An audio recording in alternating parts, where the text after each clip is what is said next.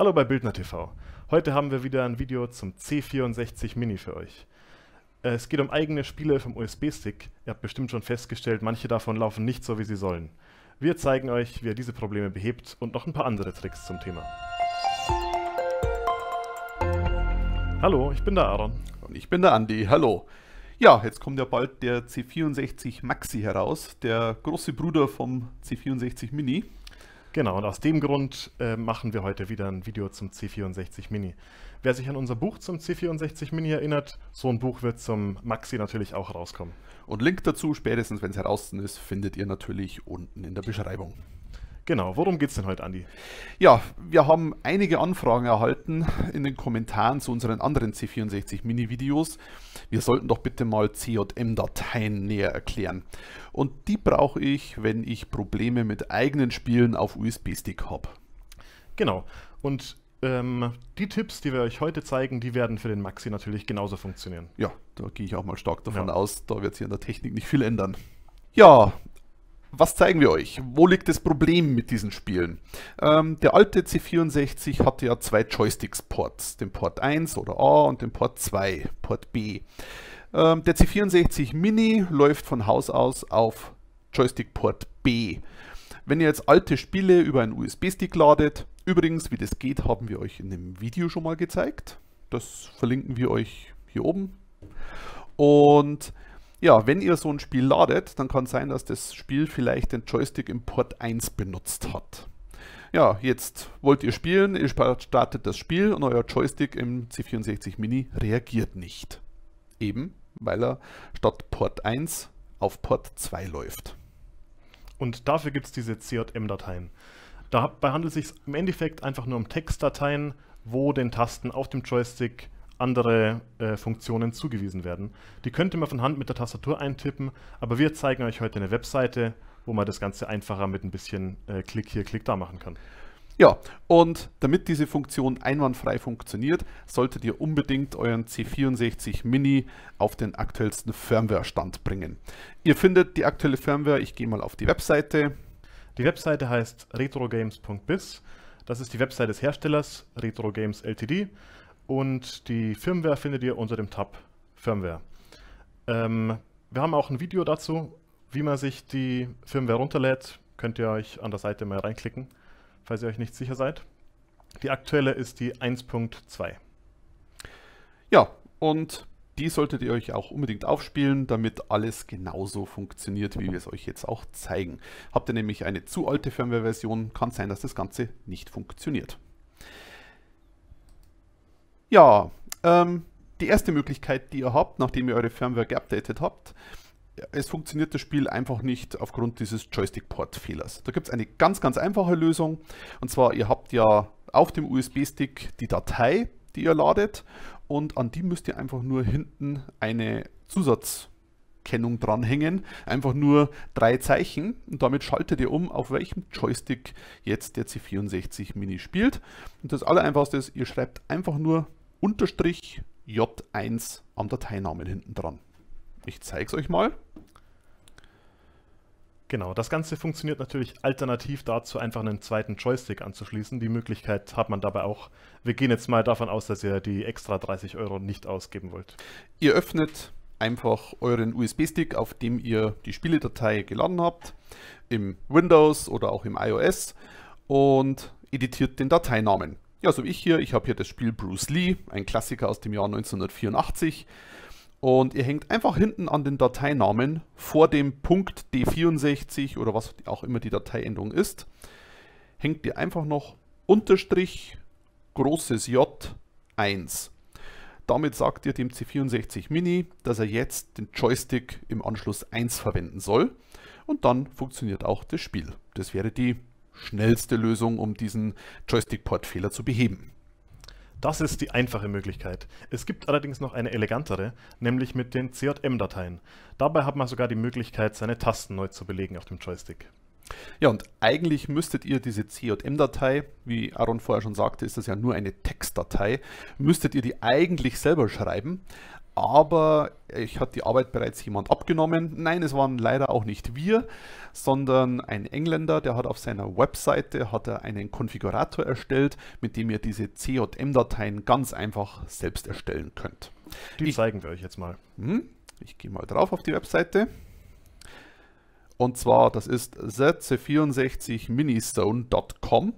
Ähm, er hat übrigens einen eigenen YouTube-Kanal und den Link, den wir euch auch unten in die Beschreibung setzen, äh, unter dem Link findet ihr auch hier seinen YouTube-Kanal. Nicht, dass es heißt, wir würden ihm hier Inhalte klauen. Also die Credits sowohl für dieses Konfigurationstool als auch für seine Videos gehen natürlich hier an ZC64 Minizone. Aber dieses Configuration Tool, das ist richtig klasse gemacht. Da ja. muss man gar keine großen Kenntnisse haben. Ist auch kostenlos. Hier ist zwar ein PayPal-Button, aber ähm, er fragt nur nach Spenden.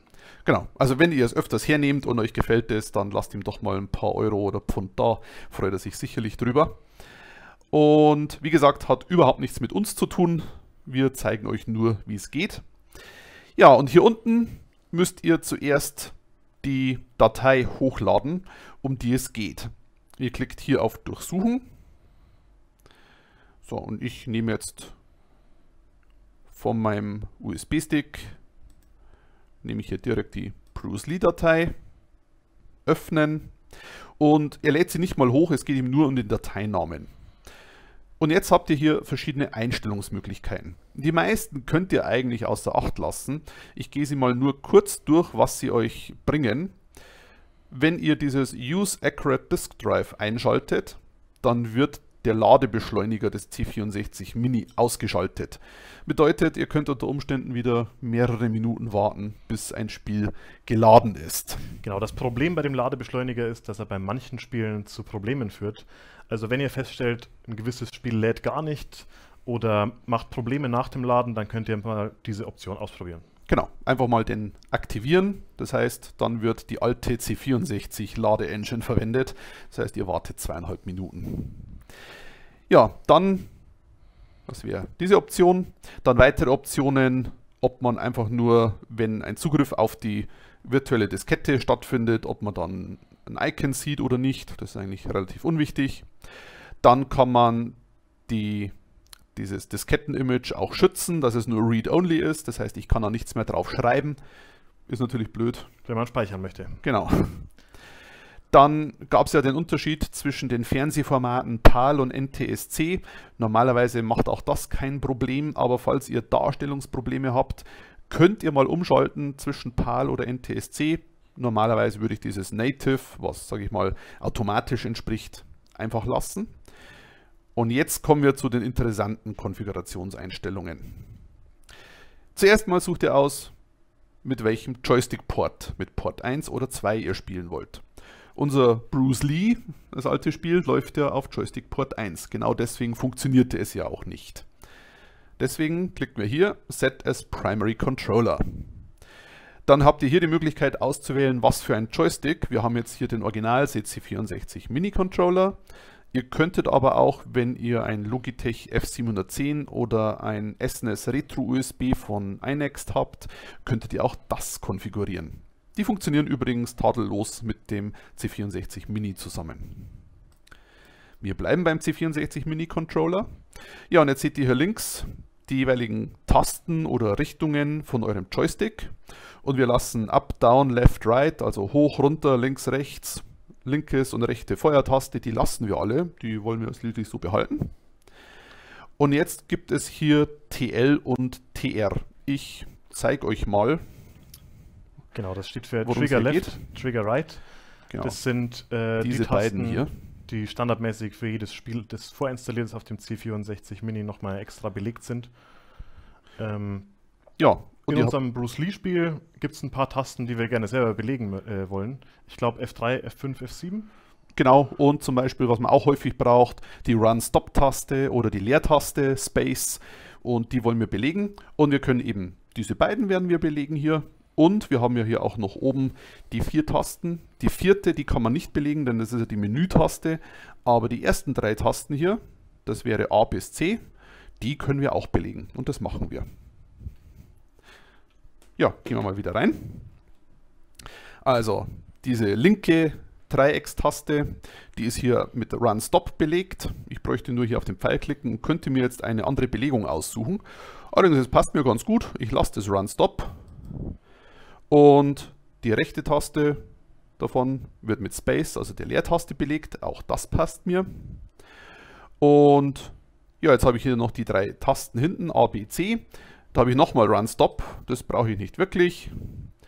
Dann nehme ich F1 und für die B nehme ich dann F3 und für die C, da brauche ich F7. Die F5 belege ich jetzt mal nicht.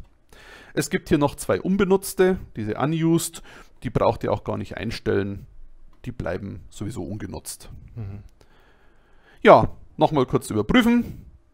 Wir haben alles eingestellt, wir haben hier unsere Datei ausgewählt, hier oben Änderungen gemacht, falls wir sie bräuchten, auf Joystick Port 1 gestellt, und die Tasten belegt, wie wir sie denn gerne hätten. Und jetzt klickt ihr einfach nur auf Create CJM-File. Es dauert ein bisschen. Und jetzt wird euch die Datei, dieses brucelee.cjm, zum Download angeboten. Das speichern wir ab. So. Und diese Datei kopiert ihr dann einfach zu eurem Bruce Lee Image hier rein. Das habe ich schon mal gemacht, hier in dem Ordner Spiele. Das Ganze sieht dann so aus. Ihr habt einmal die Original Bruce Lee D64-Datei, unsere Disketten-Image, und dann noch die Bruce Lee.cjm. Genau, also wichtig ist nur, die Datei muss im selben Verzeichnis liegen und denselben Namen haben. Genau, und wenn ihr natürlich mehrere Spiele auf eurem USB-Stick habt, dann braucht ihr jetzt erstmal mit dieser Methode für jedes Spiel eine eigene CJM-Datei. Kann ja auch sein, dass ihr die verschieden belegen wollt. Genau. Ja, und jetzt zeigen wir euch auch gleich mal, wie das Ganze funktioniert. Das heißt, wir werfen den C64 Mini an und schauen, was es bewirkt. Also, an ist er jetzt. Jetzt müssen wir nur noch zum ähm, USB-Stick-Symbol unten navigieren. Das macht der Andi jetzt mal. Dann gehen wir in das Verzeichnis, wo wir unser Spiel und die CJM-Datei abgelegt haben. Bei uns war das bei Spiele. Die CJM-Datei, die seht ihr hier natürlich nicht, die ist komplett unsichtbar für den C64. Er lädt da wirklich nur die Einstellungen raus. So, dann öffnen wir es mal. Epilepsiewarnung gab es diesmal keine, aber ihr wisst ja, wie die alten C64-Bildschirme aussehen. Besonders die aus eigenen Spielen, sage ich mal. Ja.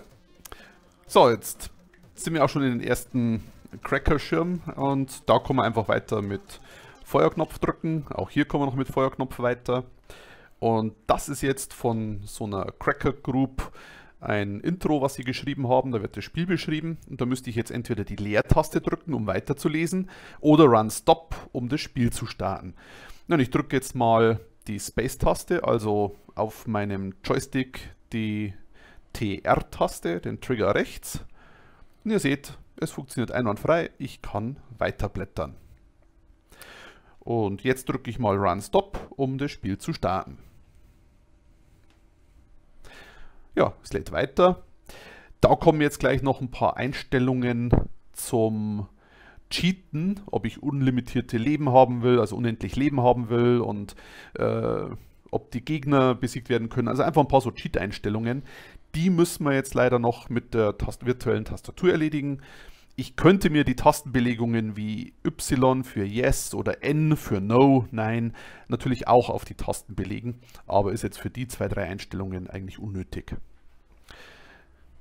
So, dann. So, ihr merkt schon, also aktuell die selbst belegten Tasten sparen uns hauptsächlich Zeit. Wir könnten natürlich das alles aktuell über diese virtuelle Tastatur machen. Die Sache ist, sobald wir dann im Spiel selber sind und die Tasten für den äh, tatsächlichen Spielverlauf brauchen, wäre es unmöglich, das Ganze nur über die virtuelle Tastatur zu bedienen. Genau, so wie hier zum Beispiel habe ich die Spielerauswahl, ob ich einen Spieler oder zwei Spieler haben möchte, gegen Computer oder gegen den menschlichen Gegner und dann F7, um das Spiel zu starten. Das müsste ich jetzt ja normalerweise alles mit dieser virtuellen Tastatur hier erledigen und jetzt hier mühsam zu den einzelnen Funktionstasten scrollen. Das Ganze kann ich mir sparen, denn ich habe ja die Tasten F3 und F7 belegt. F5 habe ich diesmal nicht belegt. Aber mit der F3-Taste, das war bei mir die B-Taste hinten, wenn ihr seht, da funktioniert es einwandfrei, dass ich hin und her schalte. Und ich drücke jetzt die C-Taste, was F7 entspricht, um das Spiel zu starten. So, und ab hier hat vorher, bevor wir die ganze CJM-Datei-Umstellung gemacht haben, gar nichts mehr funktioniert. Ja, aber dank der CJM-Datei seht ihr, der Joystick funktioniert einwandfrei. Ich kann mich bewegen, springen und sogar hier unseren Ninja wegkicken. Oh, jetzt kommt die große Tante. Der ist ein bisschen heftiger. Sieht aus wie so ein Ork. Ja, ich glaube, es ist ein Chinese. Oh, und okay. übrigens, der gelbe ist Bruce Lee, also nur damit du es weißt, falls du weißt, wer Bruce Lee war. Ja, Bruce, Bruce Lee-Filme habe ich noch ein paar gesehen, ja.